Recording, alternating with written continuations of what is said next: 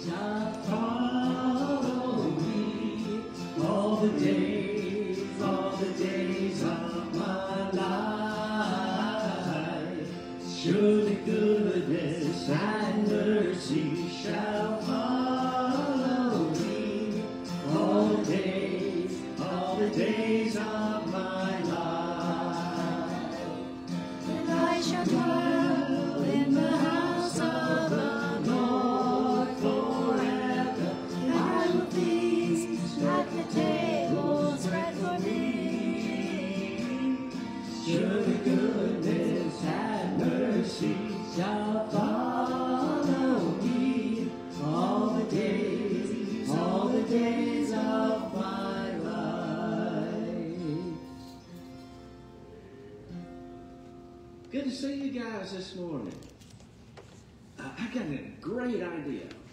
Let's ask our ushers to come and assist us as we bring our offerings to the Lord this morning.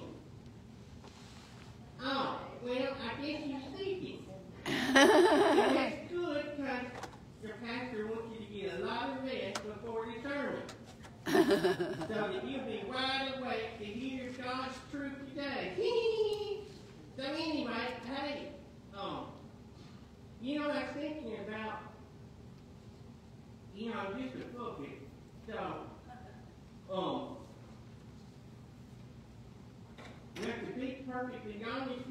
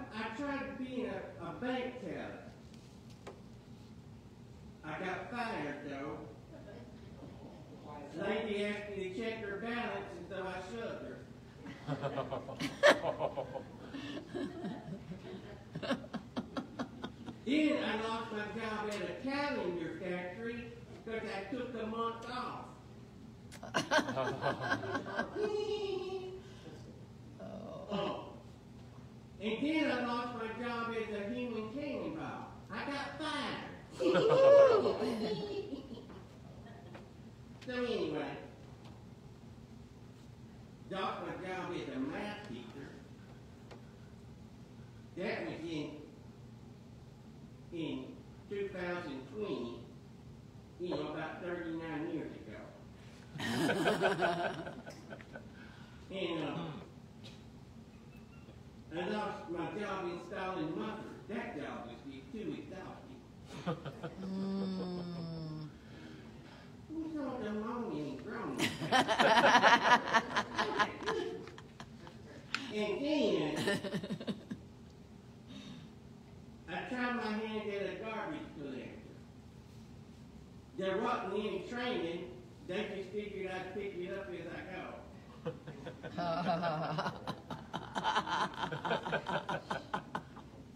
And finally, I lost my job at the upholstery factory, and I may never recover.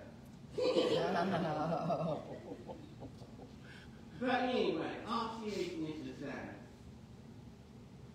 you know, the Bible says that we all have a purpose. Even though Jason over there, Jason got some new friends with him. so anyway, um, the Bible says that we are God's handiwork, created in Christ Jesus to do good works that God prepared for us to do.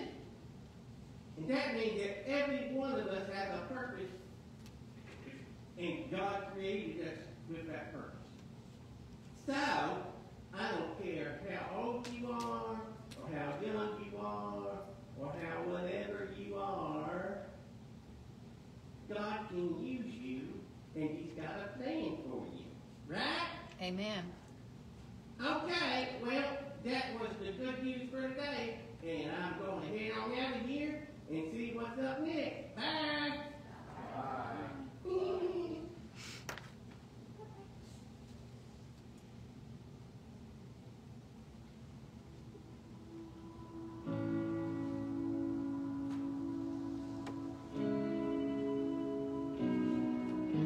Sometimes it's moments of brokenness which create the greatest transformations. Times where fear gives birth to faith, pain leads to healing, and chaos dissolves into peace. It's in these times we often see God more clearly. For in our deepest turmoil, He remains faithful. When our spirit is crushed, He remains strong. When our moment is too heavy, He carries the burden. As gold is refined by fire, we too are often refined by struggle. It's part of growing, changing, becoming. Lately, the journey has been difficult. Our breath has been labored. Our steps uneasy. But we stand in faith, knowing who is leading us through this desert. The God of peace, the God of hope, the God of restoration.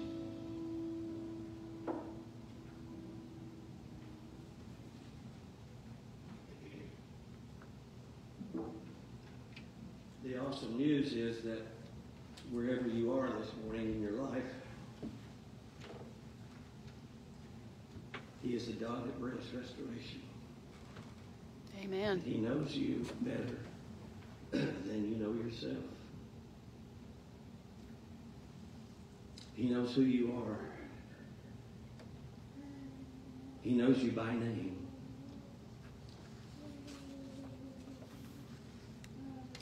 And you are His. Aren't you glad for that this morning? Amen. I wonder what key I'm supposed to be in. Thank you. I wrote it down. I'm so smart. It's a great little chorus and sing together.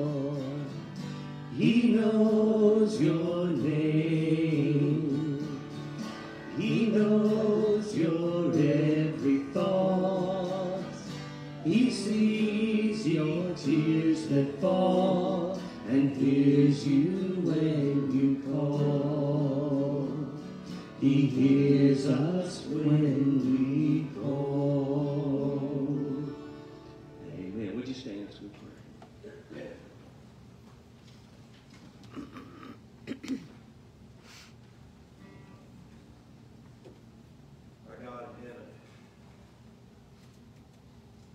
Thank you that we can call you Father. You know our hearts and our minds this morning. You know our every circumstance. Father, you are fully aware of the burdens that we carry today with us.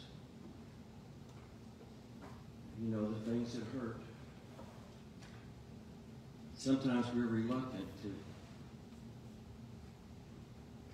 to be so transparent with other people that we would talk to them about such things, but you already know, and you're already at work. You are our awesome God. And Father, I pray today for our nation. Yes, Lord. I pray that uh, once again, oh God, you would Restore. in the power of your Spirit, guide the minds of uh, our American citizens, that we would see your truth, oh God, that we would see what you have for us, how, how following your ways and your word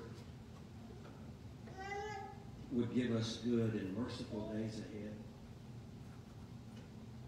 Father, I pray for circumstances in Haiti today, and in Israel and in Ukraine. Father, I, lift each of these to you. I pray especially for innocent victims, uh, folks just caught in the middle and are suffering. And I pray, Father, for those who are uh, fighting for what is right. And then I pray, God, your strong arm of justice against those who are fighting for things that are evil, things that are anti-God, anti-Christ. And Lord, we thank you for the privilege to be the church today and your call upon us to reach our community surrounding this campus and the communities where we live. And we desire to take Jesus uh, to our families and to our neighbors. And I pray that in the power, again, of your Holy Spirit, we would be your witnesses. in our local area and to the ends of the earth. And Lord, as we open the Word today, I pray that you would teach us and that your Spirit uh, would bind our hearts to you. And I pray this in Jesus' name. Amen. Amen. You can be seated.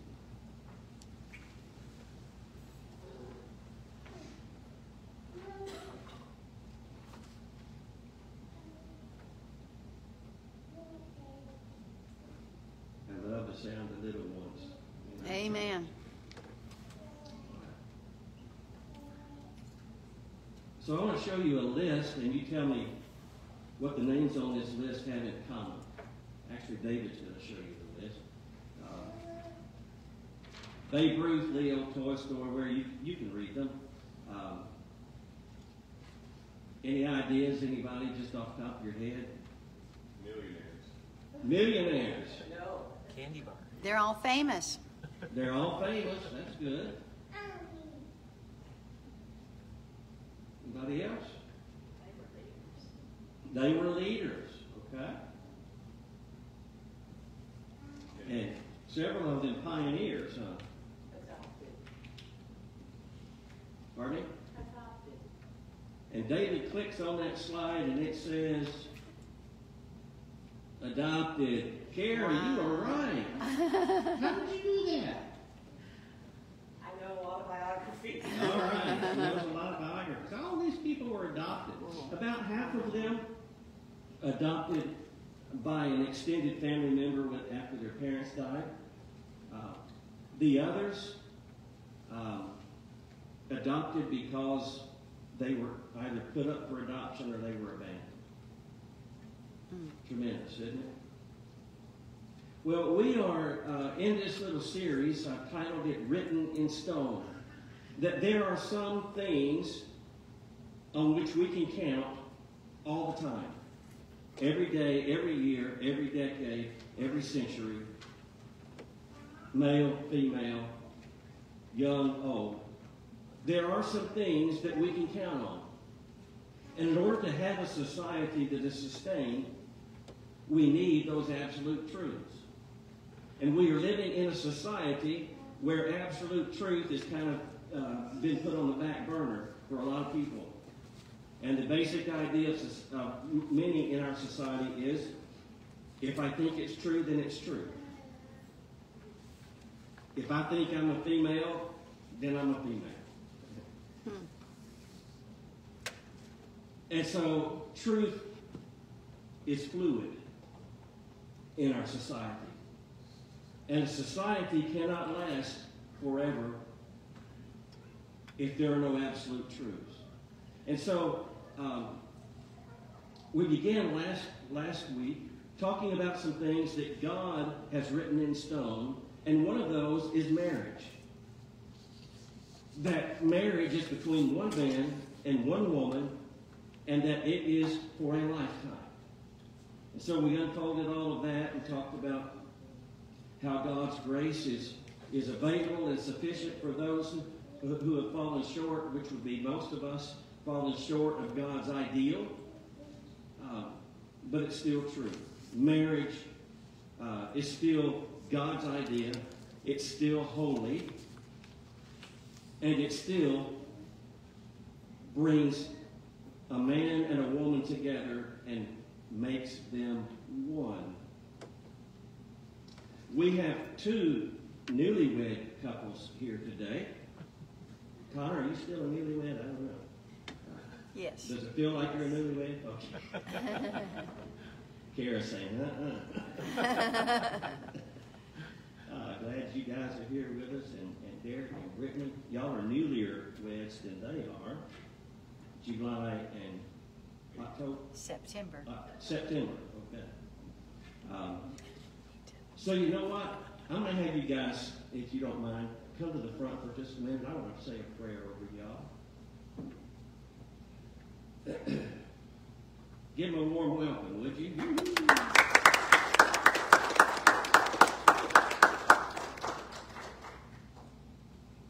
Connor and Kara, Brittany and Derek, and uh, this church loves you guys.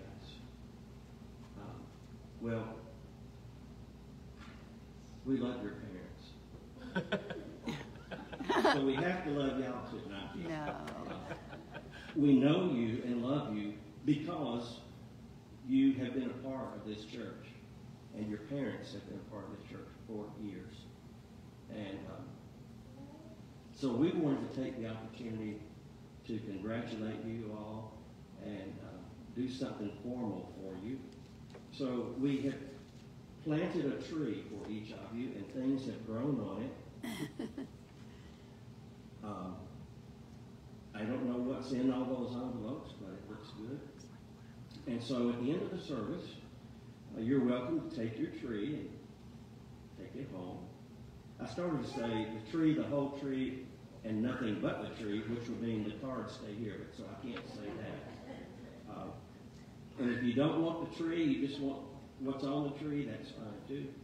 Um, if you just want the cash, that's fine too. But um, just a way for us to say that we love you guys, we believe in you, and uh, we support you, and uh, I want to pray God's blessing on you. Father, I thank you for these two precious couples.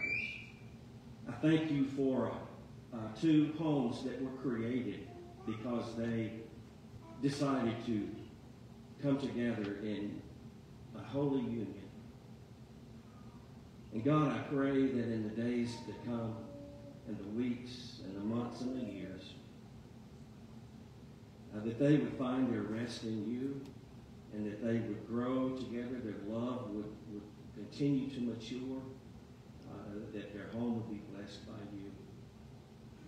And uh, we know it's not always going to be an easy road, but we do know that in Christ there is peace and there is love. And Lord, thank you for the gift of children. Thank you for this precious little one today who uh, steals our hearts every time we see her. Uh, I pray, God, for uh, the parents and grandparents. Uh, give them wisdom to know when to step in, when to stand back, uh, and, and to be ever supported. I know they will be. And I thank you most of all for your gift of love. I bless these couples in the name of the Father, and of the Son, and of the Holy Spirit. Amen. Amen. God bless you guys. Thank you very much. Y'all can be seated. And so we talked about marriage, and, and today um, we're going to look at something else that God has written in stone. Went to the funeral of Dr. Fred Huff this past week. Uh, many of you know Dr. Huff, uh, knew Dr. Huff, and, and his wife Dinah. In fact, when when Fred was, I think he was a youth pastor in Nashville, he brought a group of teens to Douglasville, Georgia, and, and they did a VBS for us. Uh, that was years and years and years ago. Um, and, and Fred, uh, I like to say that he lived life larger than life because he was a really big guy. Um, always has been, as long, as I, not always, but as long as I've known him. I, I saw a picture of him uh, on Facebook. He was in a, the encounters at Tribeca. I almost didn't recognize him. He was, he wasn't thin, but he wasn't huge. uh, but anyway, Fred loved life. Fred was the, the perfect example of the fact that you can be a Christian and be happy and, and enjoy life all at the same time. Uh, he was a cut up. Uh, he was unique. And the, the scripture, uh, two different individuals used the scripture uh, for Fred. John chapter 10, verse 10. When Jesus said, I have come that you might have life and have it more abundantly. And Fred is just a picture of abundant life. Um, by the way, it's important. The first part of that verse is important for us today. It says, The thief comes to steal and to kill. But I have come that you might have life and have it to the full. God wants to give you a life of fulfillment and joy. You know, He doesn't tell us how to live in order to keep us away from those things. He actually draws us to that kind of a life. I heard, uh, was, I think it was a comedian, and so he, I, I guess he was trying to be funny, but it, I thought it was very sad, especially if it, it's the truth about his life. He said, Why is being alive so expensive? I'm not even having a good time. well, if you're not having a good time, it's a great question, right? Why is life so expensive? But we ought to be having a good time.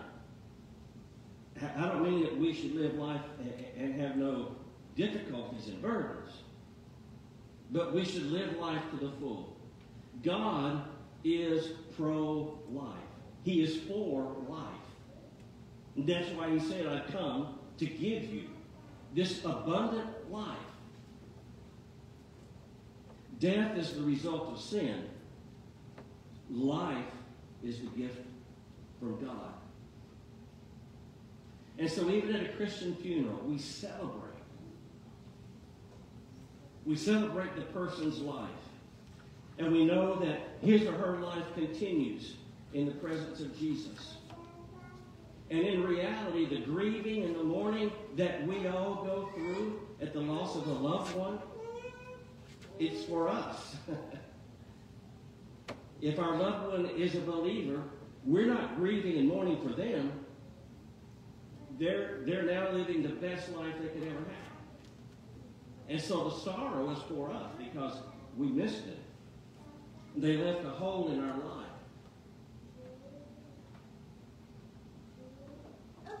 But God is pro life, He is for life. And if He is all about being a life giver, then you and I also must be pro life. And to say that, it, it, means a lot more than the fact that we do not support abortion or any of the laws that provide for abortion. It, it's, it's broader than that. Abortion is only one category under the umbrella of euthanasia. Euthanasia is uh, the practice of intentionally ending life to eliminate pain and suffering. And so, women who uh, are experiencing an unwanted pregnancy want to end their own personal pain and suffering, and so they get rid of the problem. They get rid of the cause. But it isn't just about unwanted pregnancies. It's a mercy kill. Doctors perform them on patients who are terminally ill at the request of patient. And the list goes on. But it, what, what it does is, see, it, it assumes that we know better than God what's best for this person or what's best for ourselves.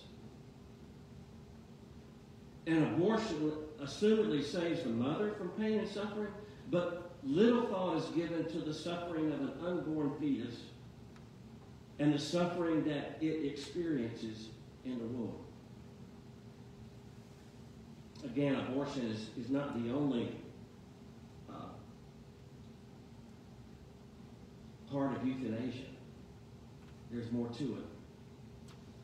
And, and as we move through it today, uh, I, you will probably hear more references to abortion, but please understand that the principles apply all across the board euthanasia. The physician assisted suicide of terminally ill patients, uh, the abortion uh, because of unwanted pregnancies, people who are just tired of life and they want out. The law does not tell us at what point a sick or disabled person should be expected to bow out of his or her earthly existence. And it shouldn't. The law should not determine.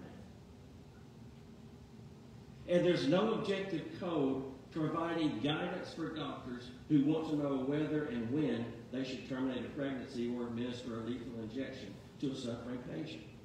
In fact, to the contrary, the Hippocratic Oath always requires physicians to do no harm under any circumstance. Yet here we are, living in a society where doctors ignore that Hippocratic Oath.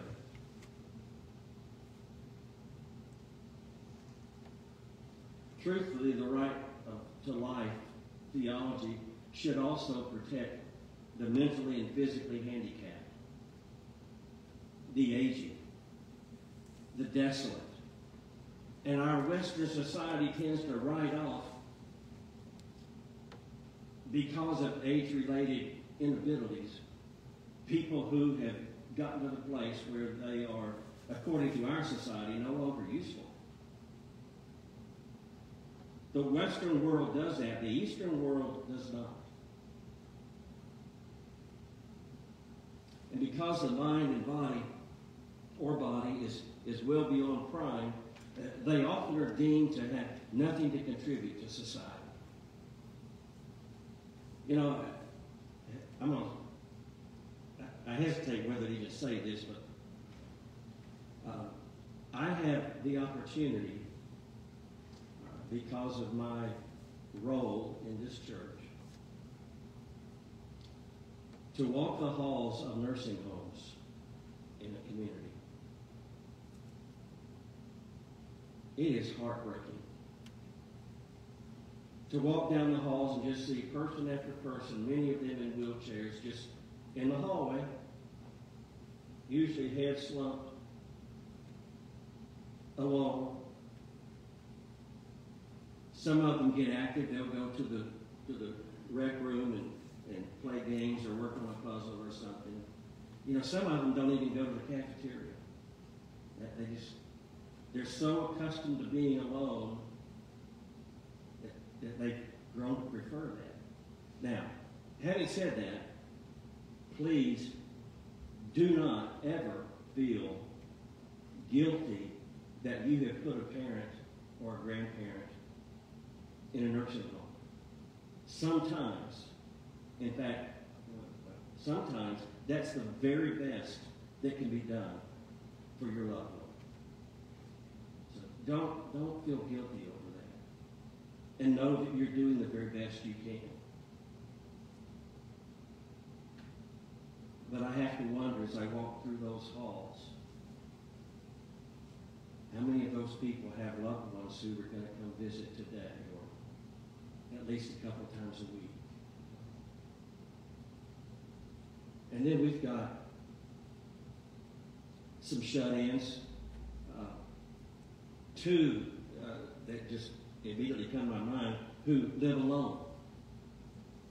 And they don't leave their home. And so every day, 24-7, they are by themselves in their house.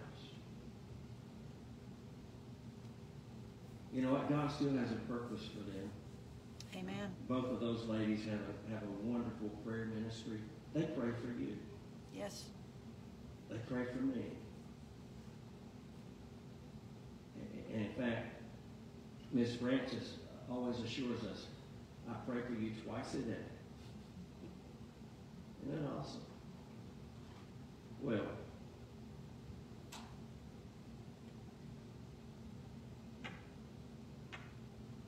I want to talk about this issue of life because it's very important in the processes of our society right now. As, as clear as day, there are two presidential candidates, one on one side of the issue, one on the other. We also have state and local candidates who are clearly on one side or the other. And so I want to talk about why pro-life is the only biblical position. for a person to take, for a Christian. Uh, and, and I'm going to read a, a little from a little a blog from a pastor. He wrote this. The topic of abortion is very personal to me, not just because I'm a pastor, but because I myself was not planned. I was conceived as a result of a one-night stand and could have become another abortion statistic. Thankfully, that did not happen. My childhood was not easy. I was a reluctant passenger on my mother's wild roller coaster ride of marriage and divorce with seven husbands. She would drink to excess every night and pass out. But she did marry one good guy, and he says his name. He didn't drink, smoke, or party. And to tell you the truth, I don't know what she saw in him. Uh, the family crest is the image of a tree stump with growth coming out of it. The family motto uh, means it's a, I think, a Latin word, and it means it buds afresh. And that describes my life. Its potential was cut down. I was likely to amount to nothing and end up like a no, the notorious sinners in my family, but by the grace of God, He changed me, and a new life budded afresh. Why is pro-life the only biblical stance for a Christian? First of all, God planned our lives before we were born, before our birth. Your life, my life, planned by God. Would you read this with me? For you created my inmost being. You knit me together in my mother's womb. I praise you because I am fearfully and wonderfully made. Your works are wonderful. I know that full well. My frame was not hidden from you. When I was made in the secret place, when I was woven together in the depths of the earth, Your eyes saw my unformed body. All the days ordained for me were written in your book before one of them came to be.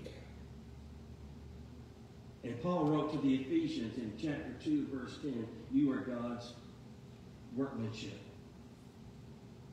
And he has a purpose for you that he planned before you were even born. God knows you. He knows you by name. Personally, I can look back on every moment of my life and, and, and, I can see where God's hand was on me. And it still is. In Jeremiah chapter 1, the Lord said to him, I knew you before I formed you in your mother's womb. Before you were born, I set you apart and appointed you as my prophet to the nations. You notice that, that he doesn't say, I formed you in your mother's womb.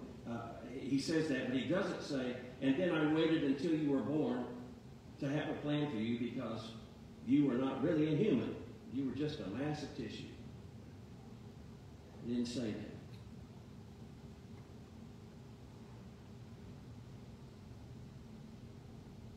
Every life is planned and created. And all children deserve a chance at life. And again, I'm including not just the unplanned pregnancies, but the mentally and physically handicapped. Uh, God has a plan for every single baby that is conceived, regardless of the circumstances of that conception. Regardless. There is no such thing as an illegitimate child. Maybe there are illegitimate parents. but the child, God planned. And Paul's word, words to Galatians, even before I was born, God chose me and called me by his marvelous grace.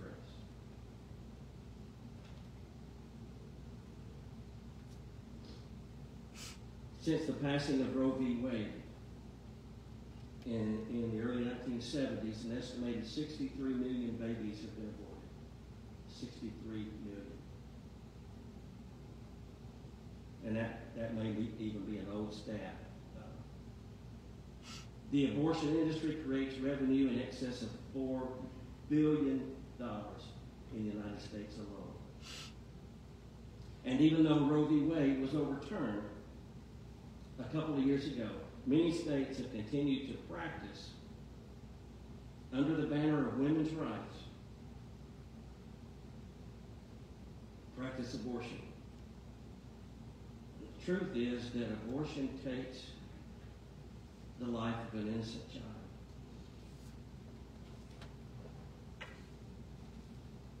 I've seen videos of ultrasounds. I've seen babies at 13 or 14 weeks.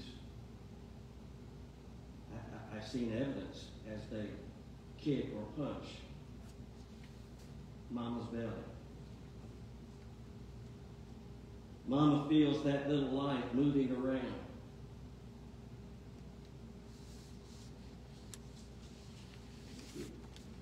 And, and so it's life. And it's murder when we abort a child, a fetus. And one of the reasons I think is that we have become desensitized to death. You know? We see it on video games. We see it in the movies. Uh, uh, John Wayne, you know, he lived forever, didn't he?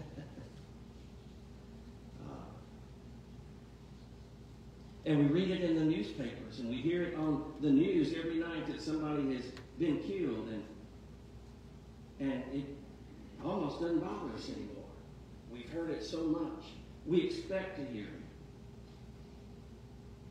The Hebrew word for murder literally means to dash in pieces.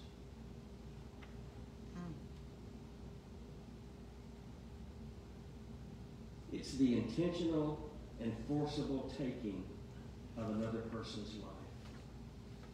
And through abortion, millions of children are being chemically burned, cut into pieces, suction, starved, crushed, poisoned, and impaled in the womb. And I'm sorry to have to give us that kind of a picture, but it's reality. It is reality. And so our culture dehumanizes these babies with terms such as terminating a pregnancy. They label them not as unborn babies, but as fetuses, embryos, globs of cells, products of conception. The reality is that they are innocent children, made in the image of God. And they have every right to live. Amen.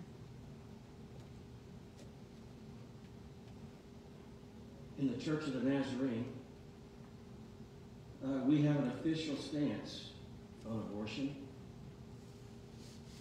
And, currently, our stance is that um, we are totally against it unless, number one, the mother's life is in danger, or number two, uh, rape or incest.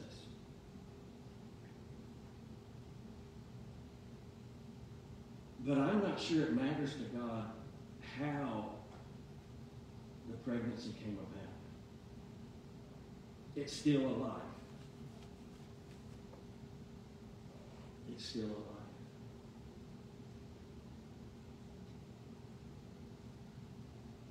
And there are repercussions about getting an abortion that most people don't talk about.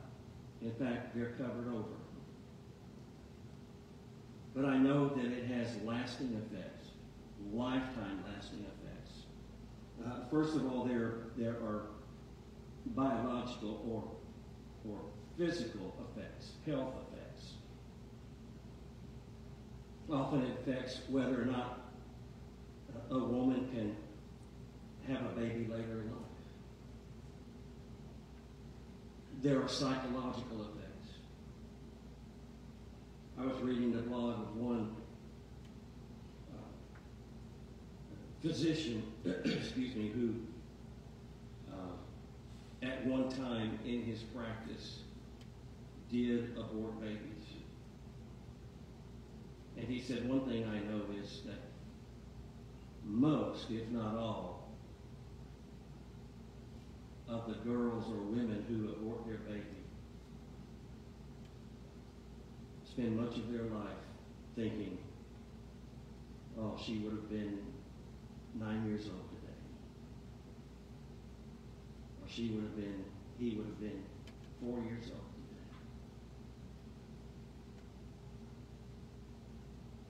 today. They mentally track the age that their child would be as they watch other children grow. And a lot of times, the, what they've done doesn't really fully sink in until later.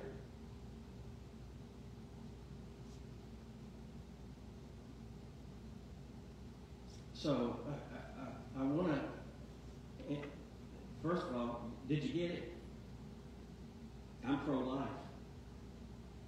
And I believe, according to God's Word, that every Christian should be pro life. And so, uh, knowing that we have a wide audience, congregation, uh, I want to answer three questions this morning. I want to address these. Uh, the first is this Will God forgive those who had an abortion? What if you've had an abortion or helped someone else get one? Is there forgiveness for that? Well, I think there is.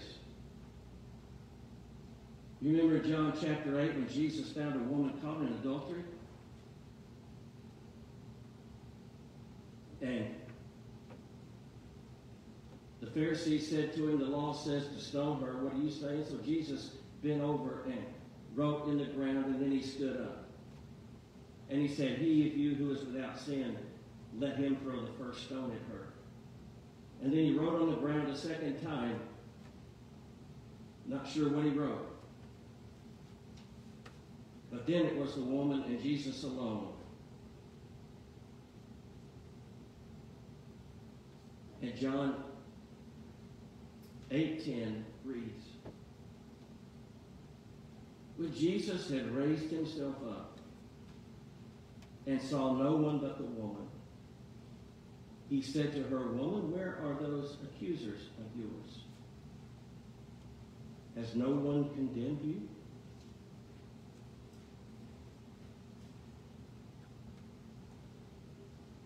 Then Jesus said, Neither do I condemn you. Go and sin no more. You know, it really doesn't matter what sin you've committed.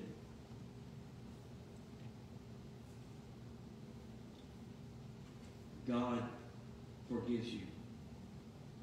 If you had an abortion, or if you encourage others to get one, if you worked at an abortion clinic, ask God's forgiveness. Romans 8 1. Now there is therefore no condemnation.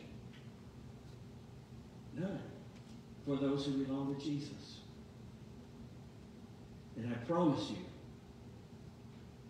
that Jesus went to the cross for those unborn babies.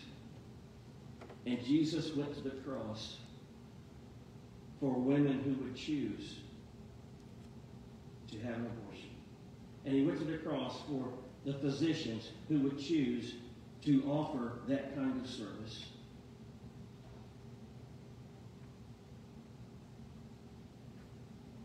Yes, I believe he forgives every person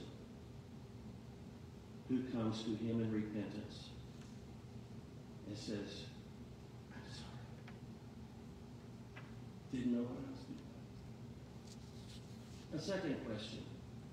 Do aborted babies go to heaven? the Church of the Nazarene, uh, well, I shouldn't, I don't have to say that part. I believe, and, and the Church of Nazarene calls it, in fact, John Wesley calls it, prevenient grace. That's a big fancy theological word that means God has his hand upon those who are too young to make a decision for themselves whether or not to follow Christ. And that certainly includes babies in the womb who never make it out. Absolutely. I believe aborted babies go to heaven. And does abortion end with a procedure? I think I've already answered that. There, there are a lot of ramifications.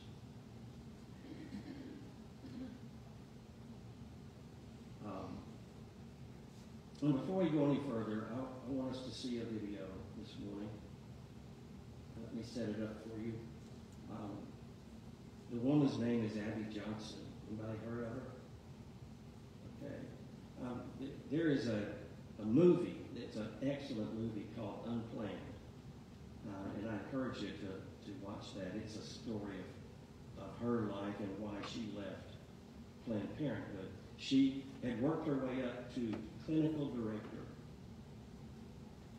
before she left Planned Parenthood. And this is just, a, I think, maybe a four-minute clip of her giving an abbreviated testimony of her story. All right.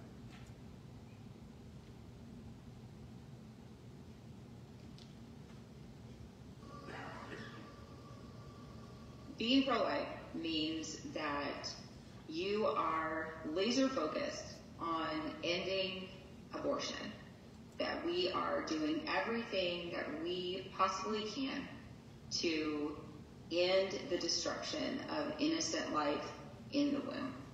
What caused me to really change my mind on the abortion industry and, and on abortion in general was actually witnessing a live ultrasound guided abortion procedure. Ultrasounds are not typically used in an abortion procedure. Abortions are usually done in a, a blind manner, so they have the abortion in- instruments and they just blindly probe around in the woman's uterus until they have enough blood and tissue in a glass jar.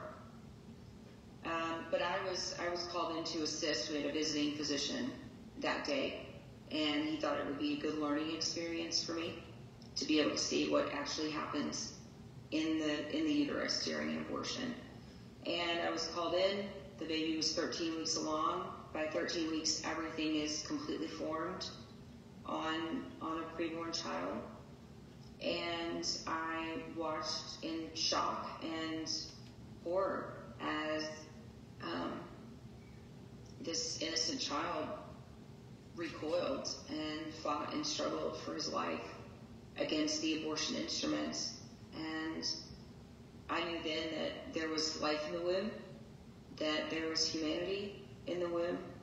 And I knew that if those two things were true, then I was on the wrong side of this debate. And I knew that what I had seen on that screen that day, it was not it was not choice of any kind. You know, that, that baby did not have choice. It was not reproductive justice. It wasn't justice of any kind. No justice for that for that child. It wasn't health care. I knew that what I had witnessed on that screen was the intentional taking of an innocent human life. And we have a word for that, and it's murder. And I knew that I had just witnessed and had been a part of a murder. And not just that time, but I had had an abortion with two of my children.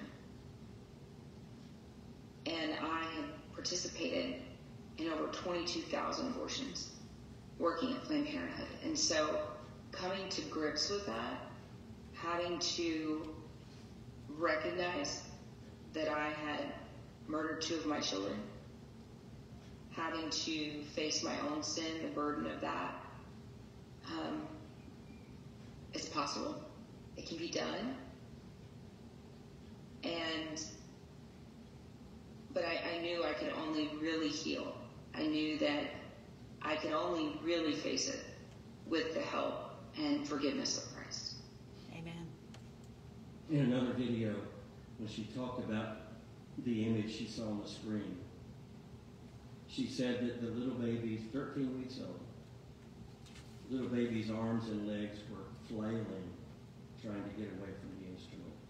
And she said the only the only word that comes to my mind is frantic. The baby was frantically trying to get away from the instrument.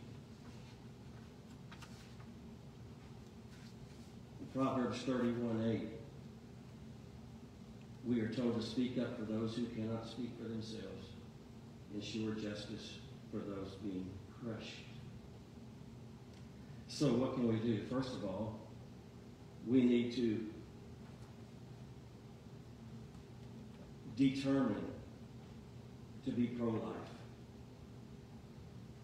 in as many ways as we possibly can. First of all, vote for pro life candidates, since that's just right around the corner. We've got to mention that. Vote for pro life laws. Be a voice in your community. We support PRC Medical, and I've put some statistics in the bulletin for you this morning of the great work they are doing.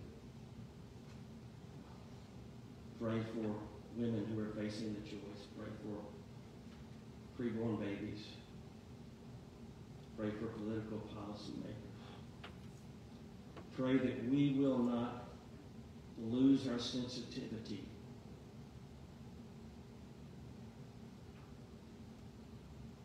to the act of mercy killing. God has written in stone that marriage is between one man and one woman and that they are one. And God has written in stone that He is a life giver. And no one else has the right or the authority to choose life or death for another person.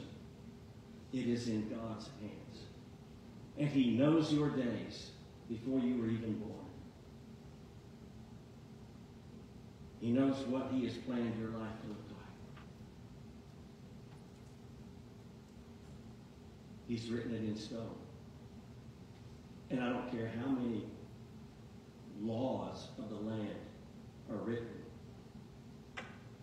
God's word cannot be changed.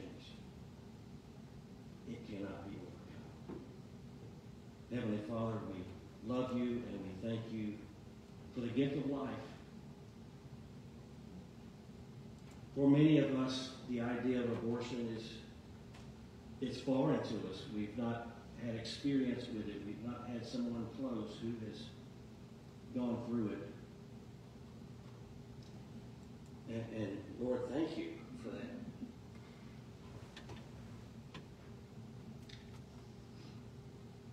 And then we know that there are some, maybe online with us today or in this room, who have been very close to it.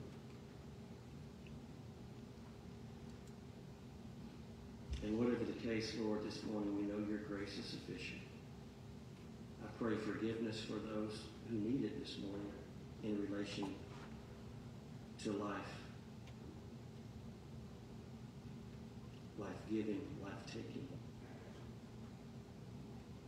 I pray, Lord, not only for their forgiveness, but that you would remove their feelings of guilt and know that you love them. Thank you for life and life everlasting and life abundant. I pray in Jesus' name. Amen. Amen. We've still got a couple of uh, little quick things here. Um, we want to sing this, this little chorus. And then another, about a three-minute video that'll close us out. But thank you guys so much for being here. Appreciate it. He is life unto this soul of mine, my Jesus, my Jesus. He is life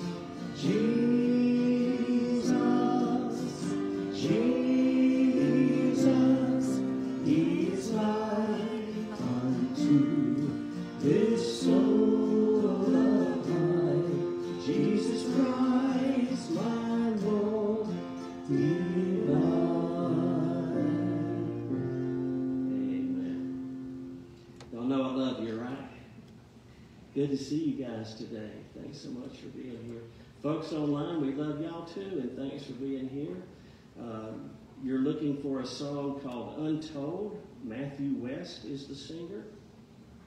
And so I, I challenge, it's a great little song. I, I trust you'll go find that and uh, let the Lord speak to your heart through it. All right?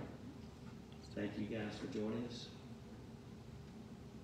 And uh, you folks, let's open our minds and our hearts as we uh, hear this great message.